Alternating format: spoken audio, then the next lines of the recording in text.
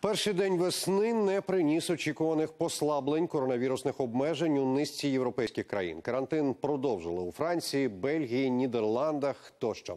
Місцями такі кроки влади викликали протести. Більше розкаже Олена Абрамович. Це Амстердам у неділю. Поліція приїхала розігнати демонстрацію незгодних із продовженням комендантської години.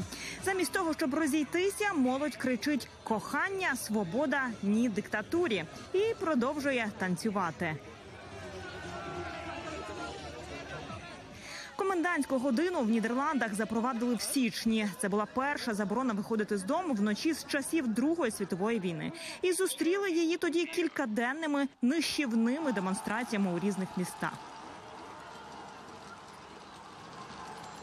Потім група активістів звернулась до суду і навіть виграла справу. Гаазький кружний суд постановив, що уряд прем'єр-міністра Марка Рютте перевищив свої повноваження, запровадивши комендантську годину з 9 вечора до 4.30 ранку. Та апеляційний суд став на бік влади. Карантин продовжили, а протести відновились. Нас позбавили права на вільні зібрання та демонстрації. У нас в Нідерландах є конституція, і наразі її порушують. Марк Рюте продовжив коронавірусні обмеження до середини березня, бо кількість нових випадків ковіду стала наростати в кінці лютого на 20%.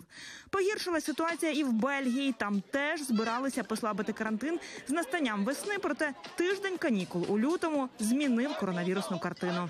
Після багатьох тижнів з показниками, які залишились приблизно на однаковому рівні, ми знову бачимо зростання як цифр щодо зараження, так і госпіталізації.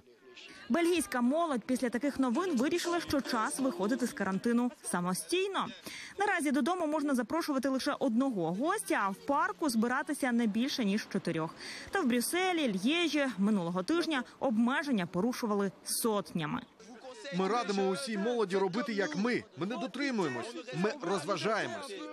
Переловити порушників в парках поліції не завжди вдається. Проте, якщо виявляють домашні вечірки, штрафують на 750 євро усіх учасників. Тим часом влада країни нарікає саме через таких законно неслухняних країна і не може вийти з карантину. З Брюсселя Олена Абрамович, Європейське бюро телеканалу Інтер.